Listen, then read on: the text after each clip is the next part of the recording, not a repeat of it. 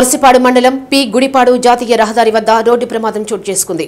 విజయవాడ నుంచి కావలి వెళుతున్న కారు గుడిపాడు జాతీయ రహదారి వద్దకు వచ్చేసరికి అదుపు తప్పి డివైడర్ను ఢీకొట్టింది. ఈ ప్రమాదంలో కారులో ఉన్న ఇద్దరు వ్యక్తులకు స్వల్ప గాయాలయ్యాయి. స్థానికులు వారిని ప్రైవేటు వాహనంలో మేదరమిట్ల ఆసుపత్రికి తరలించారు. కారు ముందు భాగం పూర్తిగా దెబ్బతింది.